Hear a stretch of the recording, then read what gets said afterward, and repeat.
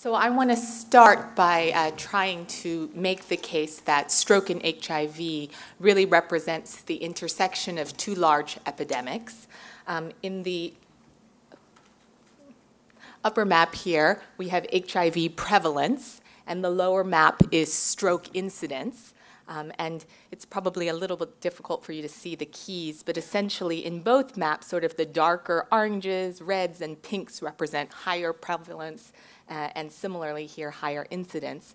And you can see there's quite a bit of overlap between the two maps um, particularly in low and middle income countries where rates of stroke are rapidly rising. Those are, of course, some of the same countries that have the highest burden of HIV. And in fact, in many of those countries, HIV and stroke are predicted to be two of the top three causes of mortality by the year 2030.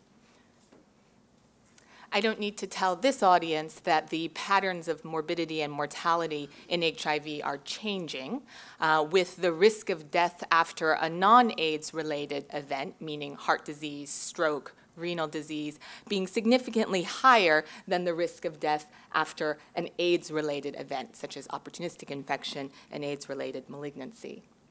And of course, our HIV infected patients are aging, which is precisely the reason why we're here today. This is a map from UNAIDS um, from 2012 showing the proportion of adults that are 50 years of age and older um, by different regions of the world, ranging from about 33% in 2012 in the US and Europe to approaching 20% in South America and Central America, and even about 10% in sub Saharan Africa. And in the United States, of course, we use this um, magical number of sort of 50% by essentially now, and we're definitely there. And in some parts of the United States, including in San Francisco, where I see patients, we are beyond that. And in fact, in San Francisco, the year 2014, we had about 58% of our patients who were 50 years of age and older. And uh, unfortunately, for all of us, with older age, you essentially have more age-related comorbidities, both in the general population and also in HIV-infected patients. These are data from the Swiss HIV cohort study, essentially just showing, oops, that uh, the older you are, the greater your risk of stroke. So if you are 50 years of age and older, or if you are 65 years of age and older, your risk of stroke compared to your younger counterparts is higher, about four times higher if you're 50 and up, and about 18 times higher if you're 65 years of age and older. So the question, of course, is, is this simply the intersection of these two epidemics, and we are bound to, of course, see some of our HIV-infected patients develop stroke, or is there really more to the story? Is HIV itself a risk factor for stroke?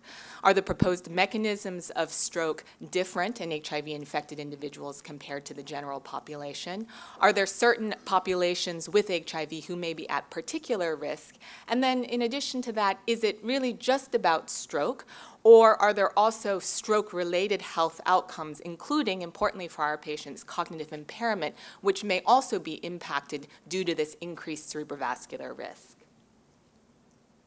So yes, absolutely, HIV is itself a risk factor for stroke.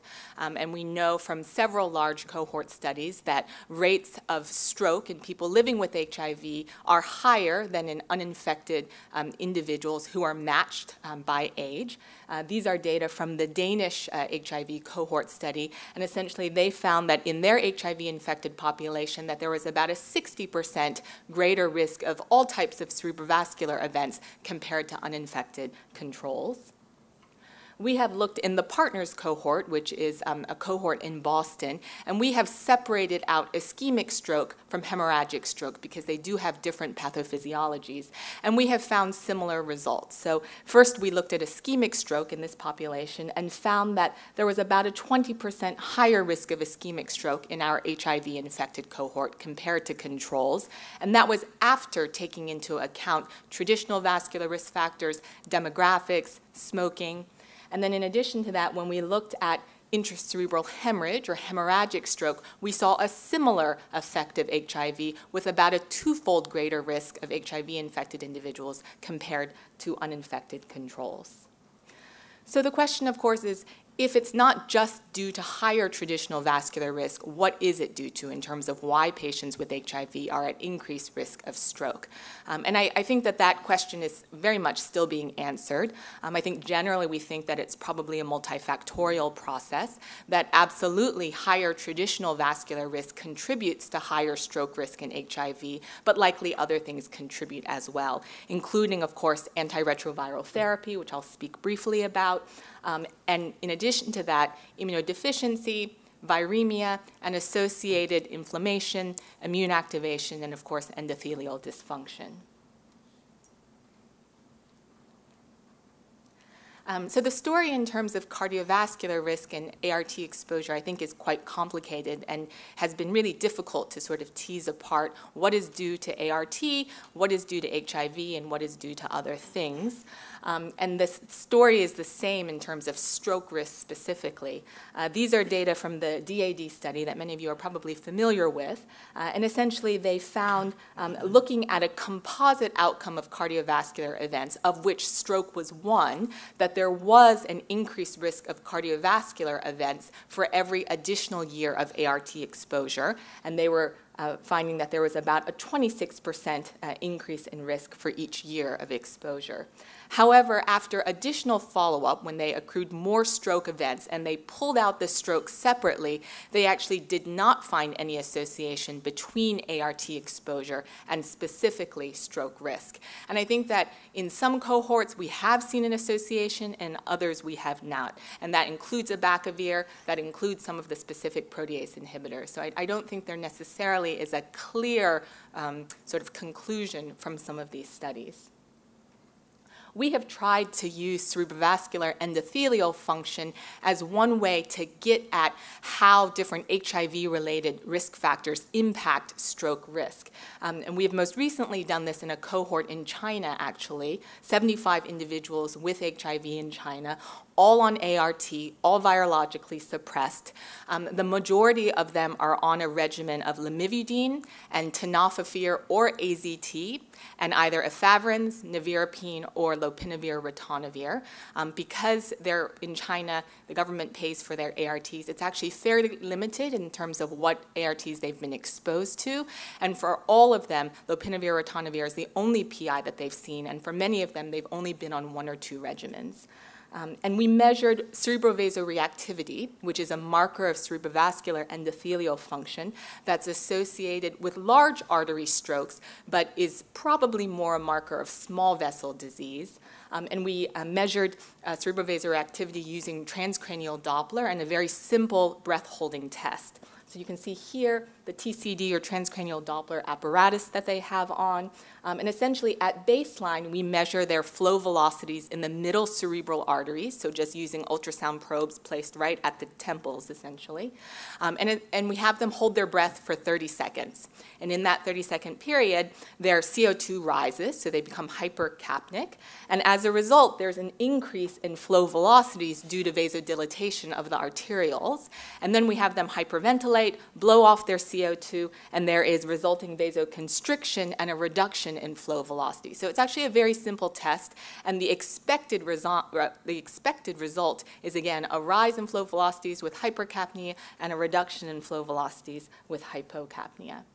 And what we found was that indeed the group that was on lopinavir ritonavir had worse cerebrovascular endothelial function compared with the reference group, which was individuals on efavirenz, and that this was independent of vascular risk factors, independent of their duration of ART use, and also independent of how long they had been diagnosed with HIV.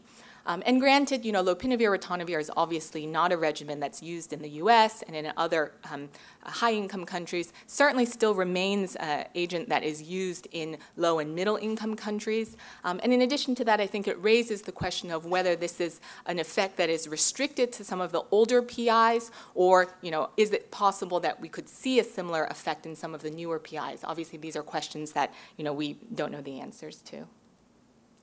Um, because cerebrovascular endothelial function measured with TCD is really more a marker of small vessel disease, it didn't surprise us that there have been other pathology studies that have shown an association between PI use and cerebral small vessel disease. So this is a study um, uh, that was actually an autopsy study, and they looked at autopsy at cerebral vessels um, within uh, patients with HIV, looking either for uh, normal vessels or mild small vessel disease or moderate to severe cerebral small vessel disease. And they found in their cases, 130 cases, um, that a quarter had mild small vessel disease and almost half had moderate to severe small vessel disease. One thing, though, that I will point out is that of these 137 cases, less than half were on ART at the time of their death. And I think that's important to point out because obviously this population is very different than the population that we studied in in China where everyone was treated and everyone was virologically suppressed. Nevertheless, they found in their analysis that exposure to PIs at the time of death um, was associated with small vessel disease, whereas other non-PI based regimens were not. And in addition to that, small vessel disease at the time of autopsy was also associated with cognitive impairment, and we'll talk more about that association later on in the talk. In some of the studies, we've also found that the longer you're on ARVs, in fact, that might be protective against stroke. And we found that in our partners cohort study. Um, and I think generally speaking, we, we think that that's probably because longer ARV duration is a proxy for um, less immunodeficiency. And I think the one consistent finding across all of the big epi studies of stroke has been that if your CD4 count is low or if you have a detectable viral load, those are some of the strongest risk factors for stroke in HIV populations, including in these various uh, studies that I've listed here. Um, and most recently, in the ALLRT cohort, um, which is about 7,000 HIV infected patients that we studied from a variety of ACTG clinical trials, we looked at both traditional vascular risk factors and then we looked at some of these HIV specific risk factors. And again, found that of the traditional risk factors, for example, aging by 10 years, was associated with a twofold greater risk of stroke. And you can look at that in comparison to having a detectable viral load, which was associated with a threefold greater risk of stroke, or approximately 15 years of sort of older age. So, sort of to give you a flavor of, again, the traditional vascular risk factors such as aging, and then other HIV related risk factors. Um, and then lastly, um, as, as many of you in the room also know, even in patients who are on treatment who have undetectable viral loads and who have good CD4 counts, we still think that those patients are likely at higher cardiovascular and cerebrovascular risk, and we have some uh, data supporting that. These uh, are data from Steve Grinspoon's group at MGH um, in collaboration with Ahmed Tawakol, who's a, a cardiologist. He's a cardiology um, imaging person. And essentially, they used FDG PET to look at inflammation in the aorta wall. Uh, and what they found was even in their cohort, again, of HIV infected patients, all on treatment, virally suppressed, that they had more inflammation in the aorta wall, uh, which is a robust cardiovascular risk marker compared with uninfected individuals that were matched not just for age, but also matched in terms of their vascular risk factors.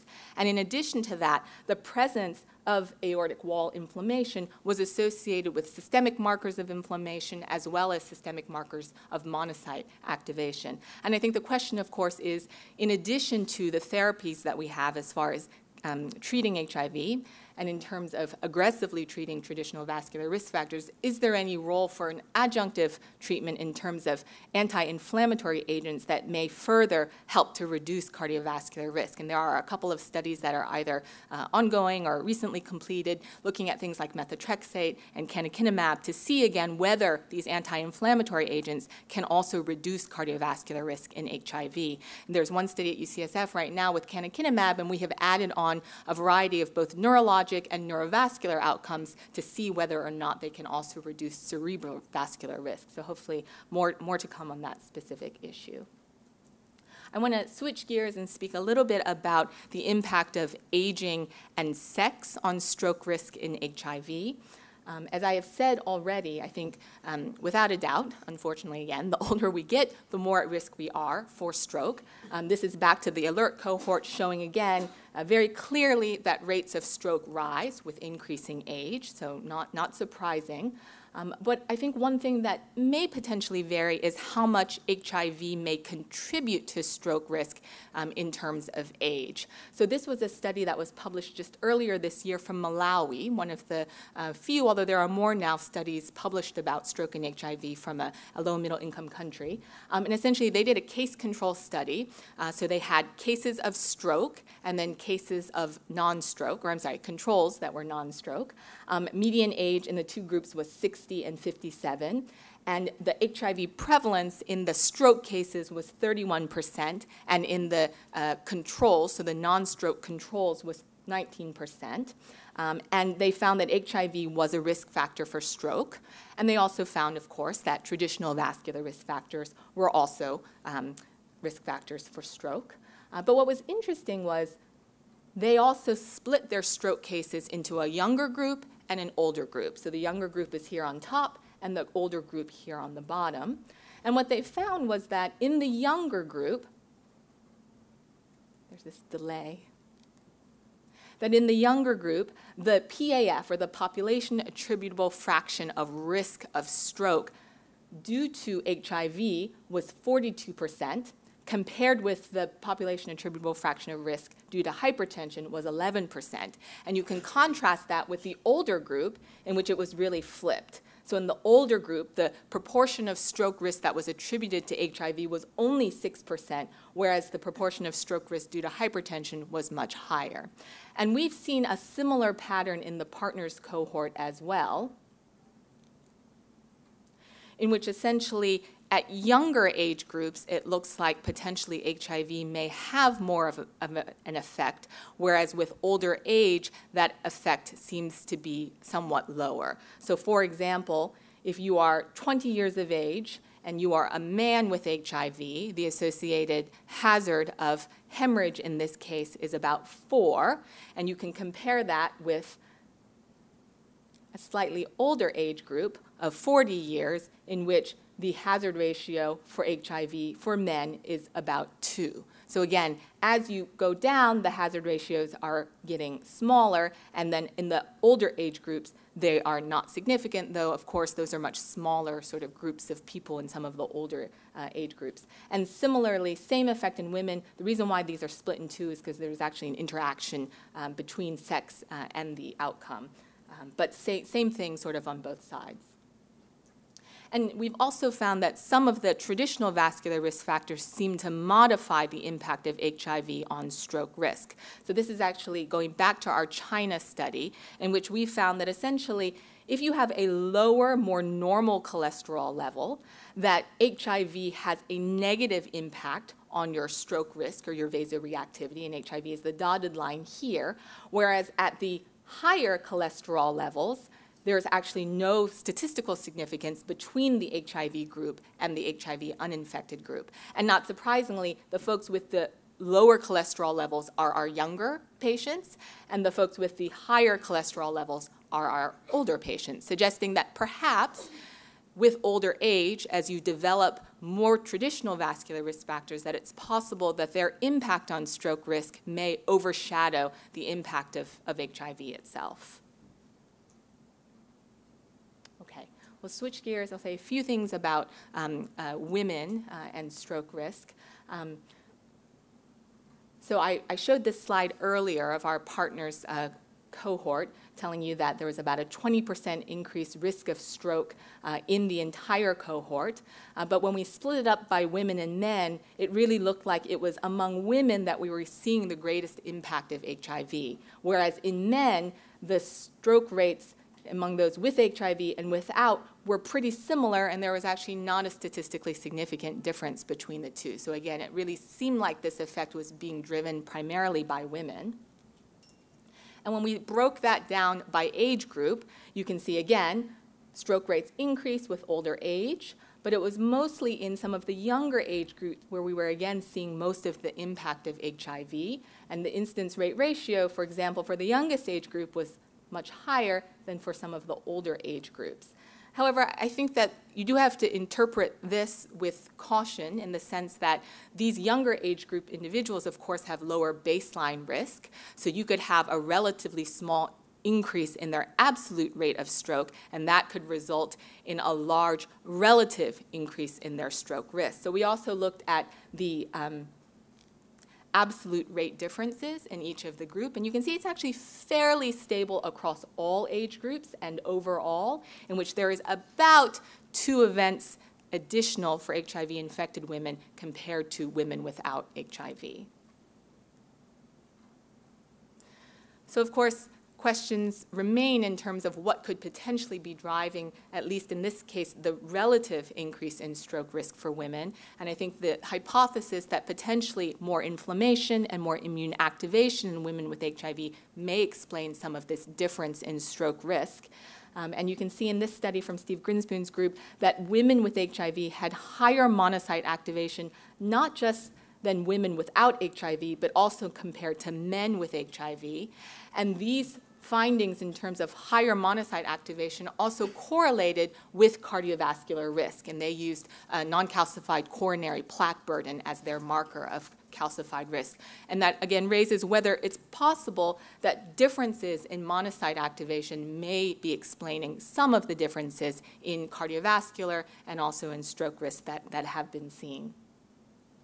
So that was all regarding sort of relative differences in risk. Again, coming back to the ALLRT cohort from the ACTG, we were surprised to find not a relative difference in stroke risk, but rather we actually saw that the absolute rates of stroke in women with HIV were higher than in men with HIV. And when we broke that down by age group, it was actually mostly in this, oops, mostly in this 40 to 49 year old age group where we were seeing the biggest difference interpret this with caution as well because these are very small numbers in each of these age groups, but still there's a signal that potentially in this age group, um, there may be more of a difference. And that, of course, raises the question of menopause, right? And, and that is something that, unfortunately, in the ALLRT cohort, we haven't been able to look at. But certainly, there is the suggestion from some other studies that potentially, not just menopause, but sort of that transition from premenopause, peri, postmenopause, that during that time, women may be, for some reason, at higher risk. Um, and again, from Sarah Looby and Markella Zanni at MGH, they have looked at this using uh, anti-Müllerian hormone as a marker of ovarian reserve. And what they found in a pretty small study, about 50 HIV-infected women, 25 uninfected women, that reduced ovarian reserve in the HIV group seemed to contribute more to cardiovascular risk than their traditional vascular risk factors, whereas in the uninfected group, it was very much their vascular risk that played a role and less so their ovarian reserve. So again, raising the question of is there possibly an interaction between the effect of menopause or sort of that transition on stroke risk and, and HIV? Okay, so in the remaining uh, minutes, I'm going to uh, switch gears one last time and talk a little bit about um, cognitive impairment and its relationship with cerebrovascular disease um, and whether or not it's a vascular phenomenon. Um, and this is something that has received definitely increasing interest recently. Um, I actually had on here a, an editorial that Bruce Brew had written, but I took it off because I thought the slide looked cleaner. But knowing that Bruce is here, I wish I had kept it on. So there's been a lot of interest uh, regarding this topic. Um, so we have known for quite some time, actually, that vascular risk is associated with cognitive impairment, both in the general population and also in, in people living with HIV. Um, over 10 years ago, Victor Valcour, at that time in Hawaii, published a study showing that uh, diabetes and insulin resistance were both associated with HIV-associated dementia and cognitive impairment. And then in the sub-study of SMART, neurology sub-study of SMART, one of the strongest risk factors for cognitive impairment in that study was pre-existing cardiovascular disease. And in fact, in some studies, there's a suggestion that vascular risk in our HIV infected patients may play much, much more of a role than HIV status itself. And this is a study from Jim Becker from the MACS, essentially showing us that carotid intima media thickness and coronary artery calcium, both again cardiovascular risk markers, were associated with worse cognitive uh, impairment, but HIV status itself in this particular cohort was not. So again, getting to that question of, is it possible with older age that vascular risk really plays much more of a role than HIV itself? And there's also compelling evidence uh, from studies looking at structural markers of cerebral um, ischemic disease, and in this case of cerebral small vessel disease. So we use um, white matter hyperintensities as one radiologic marker of cerebral small vessel disease, in addition to lacunar strokes and cerebral microbleeds. Um, and uh, white matter hyperintensities are associated both with an increased risk of stroke, but also with an increased risk of cognitive impairment. And we are, in the general population, understanding more and more about sort of um, the spectrum of Alzheimer's, dementia, vascular dementia, and how much probably overlap there really is between those two different entities. So in HIV uh, cohorts, Victor Valcour, a couple of years ago now, presented this data, um, and I believe it's under review, in which essentially they found that having HIV was absolutely associated with a higher number of cerebral white matter hyperintensities, um, as well as sort of total white matter hyperintensity volume. They did not find that any HIV related risk factors were associated with white matter hyperintensities, but it looked like smoking and hypertension both had more of an effect on white matter hyperintensities in the HIV group compared to the HIV uninfected group. And in addition to that, the more white matter hyperintensities you had, the worse your cognitive function in his cohort.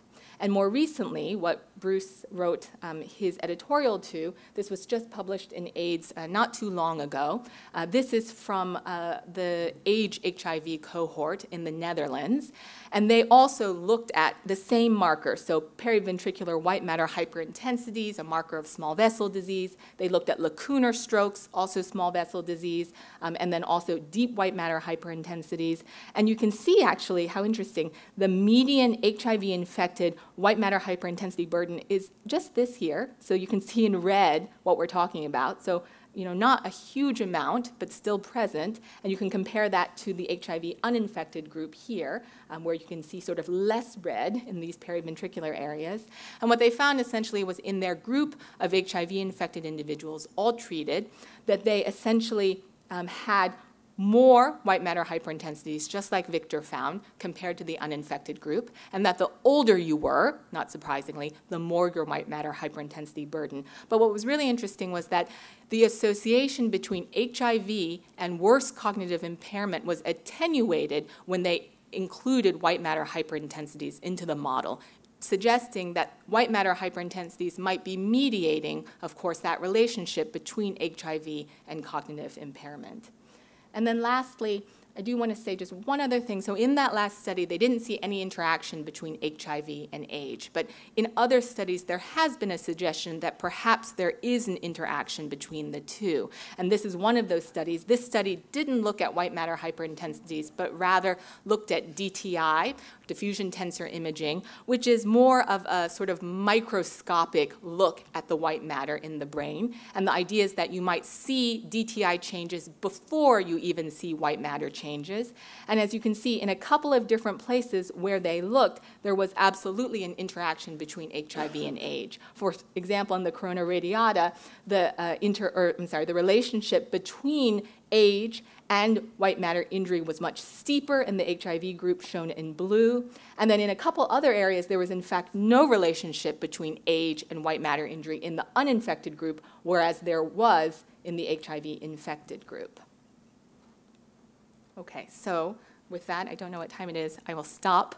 Um, and I, I, will leave up um, this slide, but I do want to acknowledge uh, mentors and collaborators from many different institutions um, in terms of their help with work presented here um, and with other ongoing work as well.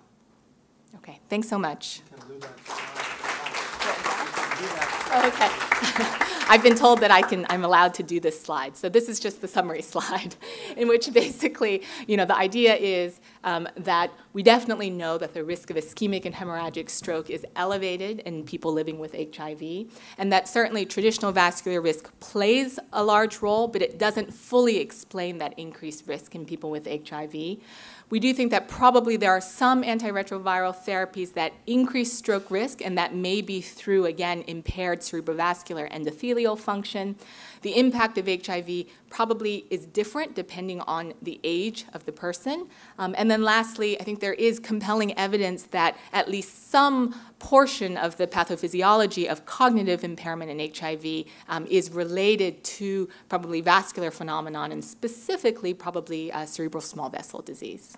Okay, thank you.